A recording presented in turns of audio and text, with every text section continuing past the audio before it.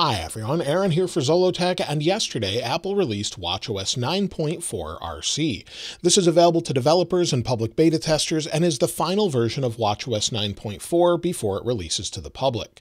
This came in at a fairly small 216 megabytes on my Apple Watch Ultra, and Apple also released a lot of different updates with this. iOS 16.4 RC, iPadOS 16.4 RC, macOS 13.3 RC, tvOS and HomePod OS 16.4 RC, and also an older OS, iOS 15.7.4 RC, along with the iPad update. Now let's go ahead and take a look at the build number and talk about what's new. So the build number can be found either in the Watch app or you can go on the Apple Watch. So if we go in the Watch, we'll go down to Settings, and within settings, if we go to general, then about, you can see the version is 9.4 with the build number being 20T253. And this particular update does include some new features, but if you don't want to continue to receive the beta updates, make sure you uninstall the beta profile, as that's something you'll need to get future updates, at least for now, with the watch. Now let's go into the watch app where our first new features are. Within Watch, if we go to our face gallery and then we scroll down until we get to color, we can see the first new feature or change here. What they've done is add new wallpapers or really watch faces that match different wallpapers or watch bands for the spring 2023 case release. So we have three different ones there. Of course, we have the fall 2022 ones here as well we can add, but you'll see them here. So we have sky, purple fog, and sprout green. So those are for spring and they match some of the watch bands. So there's additional colors throughout, but that's something they've added in the watch app. Now, they've also made a change to alarms. So, wake up alarms, according to Apple, will no longer be silenced with just covering to mute the phone or the watch. Unfortunately, that was causing a lot of people to miss their alarms, so they've removed that gesture to avoid accidental cancellations during sleep. So, maybe you were using this to track your sleep, you put your hand over it, you actually silence the alarm. That will no longer work properly. So, they've actually removed that from this update. Also, if you use cycle tracking, this has been updated as well. So within cycle tracking, if you're using this, retrospective ovulation estimates and also cycle deviation alerts are now supported in Moldova and Ukraine. So that has been updated. And also they've added AFib history. So if you have maybe AFib or you just want your watch to detect that, it will now be available in Colombia, Malaysia, Moldova, Thailand, and Ukraine. So all of those things have been updated. There are not additional updates really in here other than the ones you get with iOS where you can use different emoji, with the new emoji. So if we go into messages, within messages, you can see some of the new emoji here. And I showed those in the iOS 16.4 RC video, but you have a blackbird, a pink heart, maracas, and much more. So there's a lot of different new emoji that you can see, hands facing different directions with palm facing up, jellyfish, wing, you have a moose, and more. So those have been added here as well. Of course, you can use them on your iPhone as well. Now, there's also some bug fixes in this update, and while this isn't a huge update, for the Apple Watch Series 6, it will now estimate maximum battery capacity more accurately. And what it means by that is if we go back to our settings here, we'll just go down to Settings, under Settings, we'll go back until we get to Battery. And within the battery, you can see battery health. So if we go to battery, you'll see your battery life, but also battery health.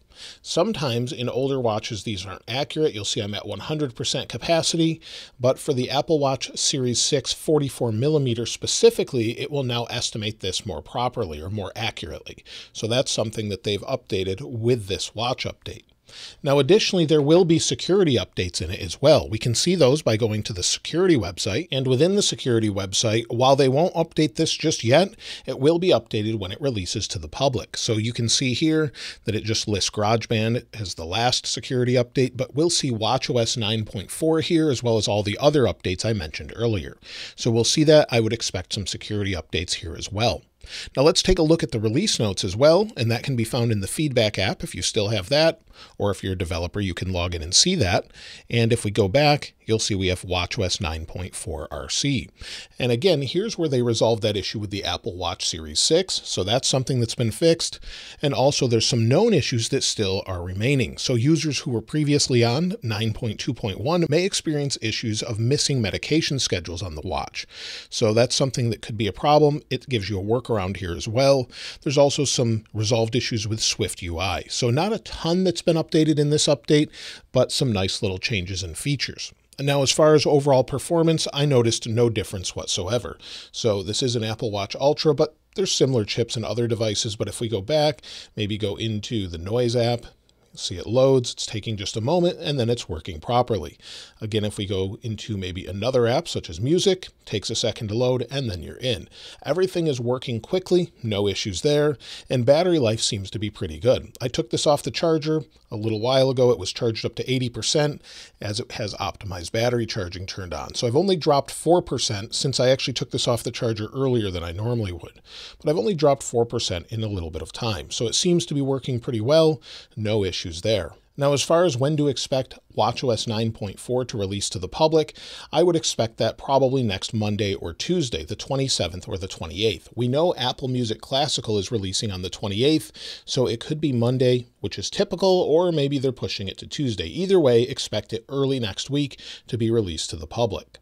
As far as the next update, well, WatchOS 9.5 will probably be next week, later in the week, or it could be in April at the beginning. Apple will continue to make WatchOS 9 updates until WatchOS 10 is released to the public, typically around September. However, we should see the first versions of WatchOS 10 in June at WWDC. Typically, the first full week of June is when we have the Worldwide Developer Conference, and I would expect invites for that any day.